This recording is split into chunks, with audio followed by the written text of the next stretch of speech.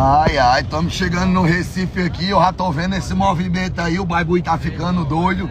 Eu só quero passar para todos vocês que independente de qualquer situação, por detrás de tudo existem famílias, pessoas.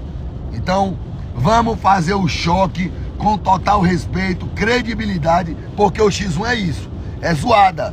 Faz parte, é a zoada. Então tem que ser uma zoada sadia com respeito.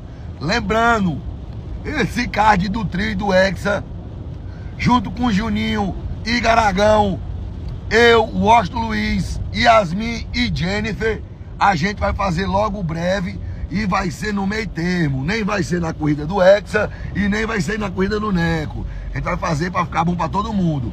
E quem for de papel que se rasgue, o bom que derruba os boi para ganhar. Zoada! Capa louca! Meu amor! Tá aproveitando já essa vitóriazinha, mas o pessoal já tá querendo saber qual é que vai ser o próximo desafio, meu amigo. Já disse, aguarde os próximos capítulos, estamos montando os cards, o evento já tá saindo do papel e já já, agora, logo breve, essa semana que a gente vem com novidade, horário e data marcada. Vai ter já? Horário e data marcada. O Capa Louca pega quem? O Capa Louca, já sabe já, Já hein? tá certo, 200 mil contra o Washington Luiz. 200 mil? 200 baletas de cada lado, 400 mil a penca. Já tá certo mesmo? Choque dos duros. é mais pra ele, mas eu tô pronto pro choque. Vigi, vigi. Lembre-se, viu? Vai comer a rapadura. Ela é doce, mas não é mole, não. Fala minha turma, agora o bicho pegou aí, negada. Natan, coloca o cinturão em jogo aí pra nós jogar ele também. Jogar o, as 200 baletas e, e o cinturão. Tamo junto, só esperando o dia e a hora, patrão. Galera, desde já agradecer a todos vocês aí que estão mandando mensagem aí, que estão na torcida. Obrigado de verdade, tamo junto.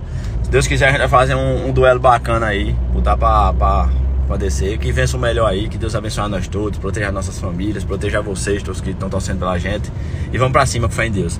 É nóis. Bom dia, bom dia aos senhores da empresa, bom dia à turma aí geral. Ei, que eu tô achando que dessa vez o Natan bem. Ele agora, ele agora pegou enfintelado, com os pés sem chinela. O Austin vai estar nele com as mutucas. Vem acostumado, gelar os cabos no retorno. Fala grosso, esticadinho do pescoço que fica na largura de uma manilha de passar em riacho. Só que o Austin vai ter um psicológico trabalhado.